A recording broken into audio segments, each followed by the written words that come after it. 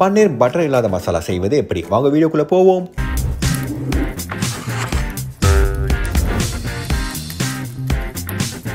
முதலில் தக்காளியை வேக வைத்துக் கொள்ளவும். எங்க அம்மாவோட இன்ஸ்ட்ரக்ஷன்ஸ் இதுல கேஷ்யூ போடணும்னா இப்போ என்னோட ரியாக்ஷன் ஏமா ஏமா ஏமா தயவு செய்து தக்காளியின் நாடி நரம்பு மூளையெல்லாம் தெரியும் அளவுக்கு தோல் உரித்து அரைத்துக் கொள்ளுங்கள் இப்பொழுது கடாயில் எண்ணெய் ஊற்றி சீரகம் அண்ட் ஸ்பைசஸை ஆட் செய்யுங்கள். அடுத்தபடியாக வெங்காயத்தை ஆட் செய்து நன்றாக வதக்க வேண்டும். இப்பொழுது ஜிஞ்சர் கார்லிக் பேஸ்டை போட்டு வதக்கலை தொடர வேண்டும். அடுத்தபடியாக chilli powder coriander powder cumin powder மற்றும் சால்ட்டை ஆட் செய்யுங்கள். அட வதக்கிட்ட வதக்கிட்ட பொடி எல்லாம் கலக்கும் வரை நன்றாக வதக்கி டொமேட்டோ பியூரியை ஊத்துங்கள். இப்பொழுது தண்ணீர் ஊற்றி பன்னீரை ஆட் செய்யுங்கள். பன்னீர் தண்ணீர் வாட் வாவ் நன்றாக மிக்ஸ் செய்து கரம் மசாலா மற்றும் கஸ்தூரி மேத்தியை சேருங்கள். எங்க அம்மா பக்கத்துல இருந்து ஃப்ரெஷ் கிரீமை போடலையாடா? அதற்கு மை ரியாக்ஷன்